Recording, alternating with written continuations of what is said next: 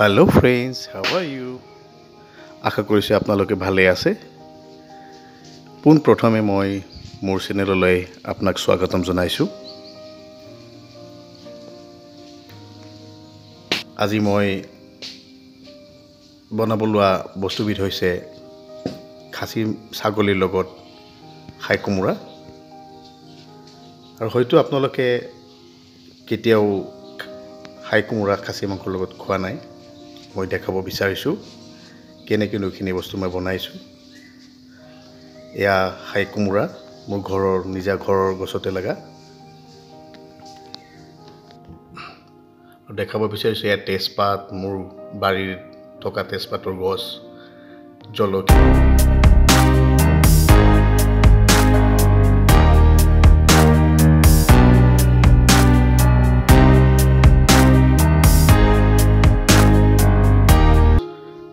বাৰীতে আছে। আৰু এই গোটেইখিনি বস্তুৰে মই বনাব লৈছোঁ। ঠিক দিয়া ইয়াত দেখুওৱা ধৰণে খাহী ছাগলী মাংস খাই কোমোৰা আলু পিঁয়াজ নেমু মছলা গোটা নহৰু আদা ভোট জলকীয়া। মই প্ৰথমতে কোমোৰাটো কাটি লৈছোঁ আৰু মই দুটা ছাইজত কাটিছোঁ। কিয়নো ইয়াৰ সৰু টুকুৰাখিনি মাংসৰ গ্ৰেভীৰ লগত মিহলি হৈ যাব। আৰু ডাঙৰ টুকুৰাটো আমি মাংসৰ যেনেকৈ আলু খাওঁ তেনেকুৱা আলু হিচাপত আমি চোবাই খাব পাৰিম। তেতিয়া লাগিব কি আমি খাহী মাংসৰ লগত কোমোৰা খাই আছোঁ। আৰু এয়া মই দেখাইছোঁ কেনেকৈ মই মাংসখিনি ফাৰ্ষ্টতে মেৰিনেট কৰিছোঁ।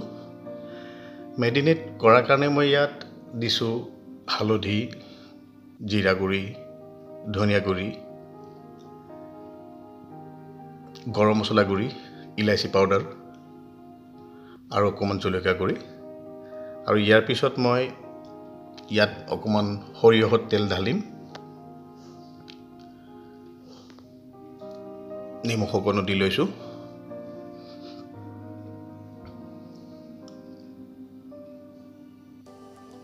ইয়াত তেলখিনি দি আছোঁ মই।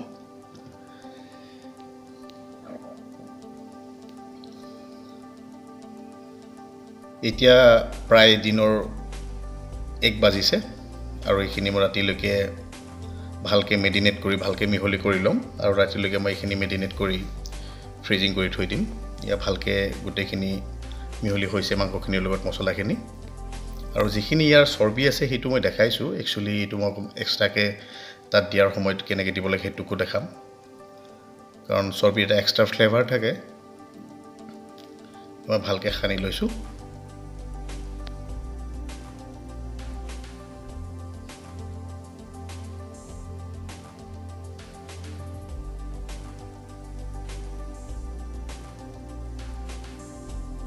আৰু এইখিনি মই এতিয়া ফ্ৰিজত ভৰাই থ'ম।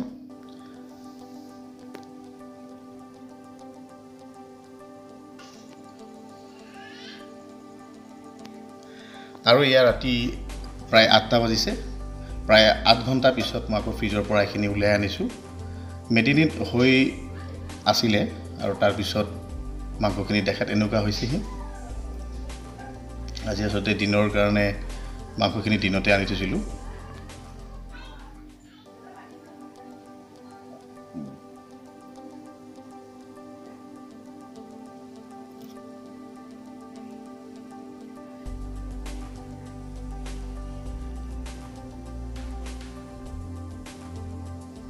কাটি থোৱা কোমোৰাখিনি ইয়াত দেখাইছোঁ। পিঁয়াজ আদা নহৰু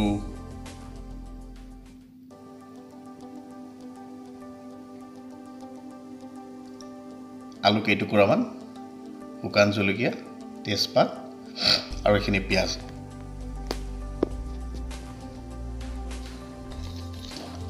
প্ৰতিদিনে কৰি লোৱা নিচিনাকৈ আজিও মই গৰম মছলাখিনি কেৰাহীত গৰম কৰি লৈছোঁ কাৰণ খুন্দিবলৈ বহুত সহজ হয়। আৰু তেনেকৈ খুন্দি মই গুড়ি কৰি লৈছোঁ। আৰু এতিয়া মই কেৰাহীত তেল ঢালিছোঁ। প্ৰায় ছয়শ গ্ৰাম মাংস আছে আজি। এইটোৰ কাৰণে মই প্ৰথমতে ইয়াত শুকান জলকীয়া দুটা দি লৈছোঁ। অকণমান গৰম মছলা। মানে গৰম গোটা মছলাটো ডালচেনি ইলাচি আৰু তেজপাত। যেতিয়া ইয়াৰ পৰা দালচেনিৰ পৰা তেলটো ওলাইছে তেতিয়া মই পিঁয়াজখিনি দিছোঁ ইয়াত। আৰু পিঁয়াজখিনি প্ৰায় আধা ভজা হোৱালৈকে মই ভাজিম ইয়াত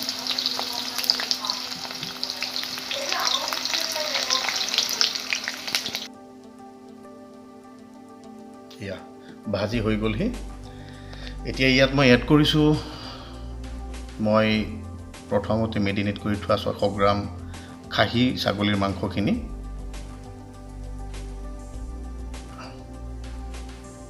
তেলখিনি চব ছাইডৰ পৰা লাগি ধৰাকৈ মই লৰাই দিছোঁ।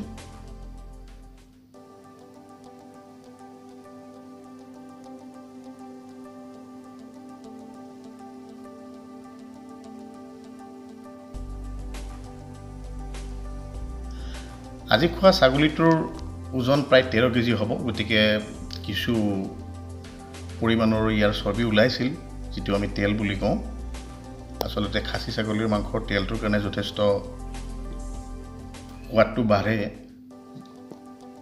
আৰু ইয়াৰ পৰা মই প্ৰথমতে ওলাই লৈছোঁ ছাগলী মাংসৰ যিখিনি চৰ্বি আছিল দুই তিনি টুকুৰামান আছে সেইটো মই ওলাই লৈছোঁ। এই কাৰণতে যদি এতিয়াৰ পৰা মই তেনেকৈ ভাজি থাকোঁ হয়তো শেষলৈকে গোটেইখিনি গেলি গেলি নোহোৱা হৈ যাব আৰু ইয়াৰ যিটো এক্সট্ৰাকৈ চুবাই খোৱাৰ টেষ্ট থাকে সেইটো মই নাপাম।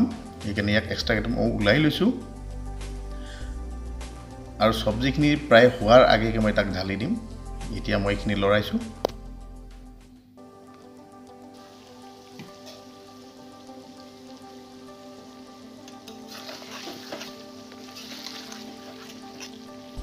বা কালাৰটো ভাল লাগিছে মাংসখিনি চাই মোৰ নিজৰে লোভ লাগি আছে এতিয়া। অভিয়াছলি ময়ে খাম কিছু সময় পিছত হ'লেও। মোৰ লগত ভাইটি আছে আৰু লগৰ দুজনমান বন্ধু। ইয়াতে মই প্ৰথমতে কাটি থোৱা আদা নহৰুখিনিৰ আধা অংশ মই দিছিলোঁ যেতিয়া ফ্ৰাই কৰিছিলোঁ। এতিয়া মই এতিয়া ইয়াত আকৌ অকণমান পিঁয়াজ দিম কাটি থকা পিঁয়াজখিনি।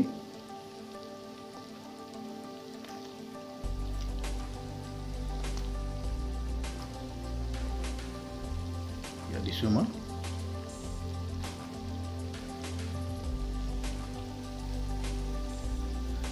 আদা আৰু নহৰুৰ যিখিনি মই খুন্দি পেষ্ট বনাই থৈছিলোঁ সেইখিনিও এতিয়া দিছোঁ মই ইয়াত আধা অংশ মইতো প্ৰথমতে দিছিলোঁ ভাজি থকা সময়ত আৰু এতিয়া আধা অংশ মই এতিয়া দিছোঁ আৰু লগত দিছোঁ মই সদায় খাই ভাল পোৱা নহৰু কেইটামান নহৰু সচৰাচৰ কেঁচা নহৰু খোৱা নাযায় আৰু আজিকালি যিটো চিটুৱেশ্যন হয় ৰেড মিটবোৰ সঁচাকৈ সদায় খোৱাটো ভাল নহয়।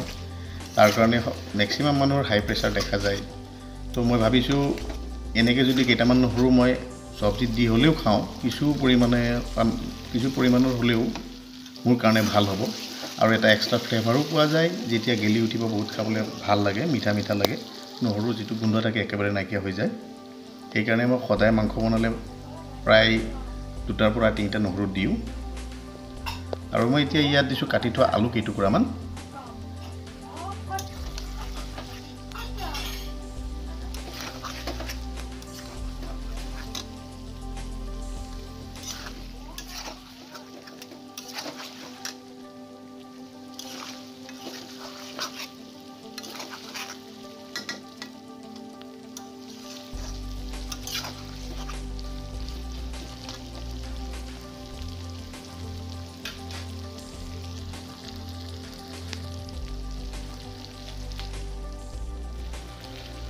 কিছু সময়ৰ কাৰণে মই ঢাকনিটো মাৰি ৰাখিছোঁ। আৰু এয়া প্ৰায় আলুখিনি অকণমান অকণমান সিজিছে। গোটেইখিনি ভালকৈ সিজা নাই যদিও বা অকণমান অকণমান সিজিছে। আকৌ লৰাইছোঁ। আচলতে ছাগলীটো আকৌ কৈছোঁ ছাগলীটো ডাঙৰ আছিল যথেষ্ট সেইটো কাৰণে মাংসৰ পৰা যথেষ্ট পৰিমাণে তেল ওলাই আছে। আৰু মই চেষ্টা কৰিম যিমানখিনি পাৰোঁ মই তেল ফ্ৰাই কৰোঁতে নাইকিয়া নাইকিয়া কৰিম। ভাজি ভাজি এতিয়া ইয়াত দিছোঁ মই কাটি থোৱা সৰুকৈ কাটি থোৱা কোমোৰা টুকুৰা কেইটামান আৰু ডাঙৰ টুকুৰা কেইটাৰ লগত দি দিছোঁ। আচলতে সৰুকৈ যিকেইটা টুকুৰা মই কাটি থৈছিলোঁ এইকেইটা মাংসখিনি যেতিয়া ফাইনেলি হৈ যাব তেতিয়া ইয়াৰ গ্ৰেভিনেছটো ই বঢ়াব। আৰু ডাঙৰকৈ যিকেইটা টুকুৰা মই বনাইছোঁ এইকেইটা ঠিক মাংসৰ লগত যে আমি যেনেকৈ আলু খাওঁ তেনেকুৱা আলুৰ খোৱা নিচিনাকৈ আমি এক্সট্ৰাকৈ এটা খাব পাৰিম। তো তেতিয়া লাগিব যে আমি কোমোৰাটো মাংসৰ লগত খাই আছোঁ। কোমোৰাটো মোৰ এনেও বহুত প্ৰিয় আৰু যেনেকৈ পাৰোঁ মই কোমোৰাটো খোৱাৰ চেষ্টা সদায় কৰোঁ। ভাজি হ'লেও খাৰো খাওঁ। গতিকে আজি মই কোমোৰাটো খাহী চাগৰ লগত কেনেকৈ বনায় সেইটো দেখাইছোঁ।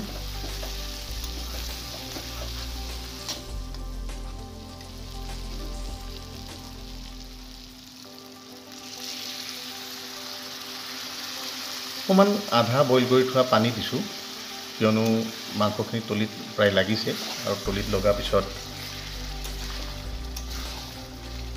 এতিয়া মই অকণমান পানী ঢালিছোঁ।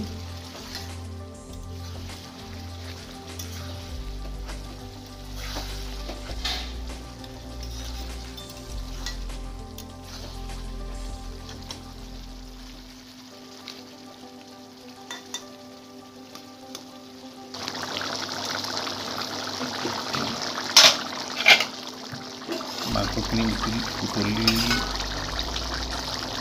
উতলিব ধৰিছে এতিয়া।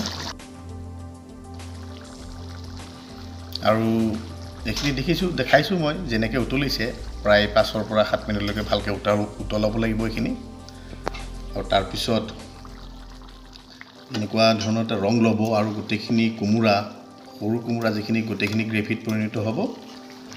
আৰু ডাঙৰ কোমোৰা যিখিনি কিছু অংশ থাকি যাব আৰু কিছু অংশ গ্ৰেভিত পৰিণত হ'ব। আৰু তাৰপিছত মই দেখাইছোঁ কেনেকৈ মোৰ আজি বনোৱা খাহী ছাগলীৰ লগত কোমোৰাৰ ডিছটো কেনেকুৱা দেখা হৈছে দেখাত যথেষ্ট ভাল হৈছে। নিশ্চয় আপোনালোকে এদিন ট্ৰাই কৰিব নিশ্চয় খাই ভাল পাব।